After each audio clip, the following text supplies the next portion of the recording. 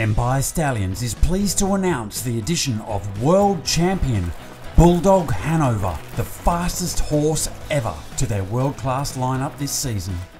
Bulldog Hanover began his career at age 2 in 2020, winning 4 of 6 starts, including a dominant 1 to 50 and 2 win in the $190,000 Ontario Sire Stakes Super Final.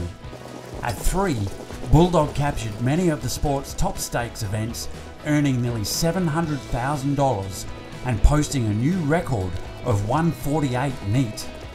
Bulldog's propensity for speed was certainly evident that year, as 8 of his 10 wins were under 150. But it was his four year old season in 2022 that captivated the entire harness racing world.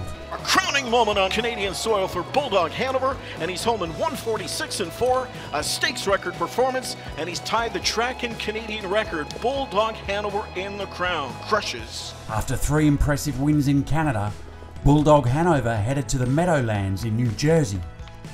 What happened in the next 21 days is the stuff legends are made of. Bulldog won a leg of the Graduate Series with Dexter Dunn now in the driver's seat. Bulldog Hanover in 147 flat. He is a monster. The next week, Bulldog was amazing in the Roll with Joe, equaling the world record. Bulldog Hanover in the roll with Joe in 146 flat. Next up was an extraordinary gate to wire victory in 146 and 1 in the Graduate Series final. Bulldog Hanover, the Bulldogs growling again. One week later, Bulldog forever etched his name in the history books when he bolted home in the half a million dollar Haughton Memorial to become the fastest standard bred of all time. It's Bulldog Hanover, 145 and 4. There it is, the fastest mile in harness racing history. It doesn't get any better than that. Week after week, Bulldog Hanover raced against and defeated the deepest crop of open and free for all paces in recent memory. He paced four of the nine fastest race miles in history and won six times from 145 and 4 to 146 and 4. This is what Ron Burke, the world's leading trainer with earnings of over $300 million, had to say about competing against the Bulldog.